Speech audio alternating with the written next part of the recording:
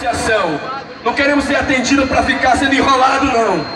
Nós estamos em greve. Não, não vamos ignorar.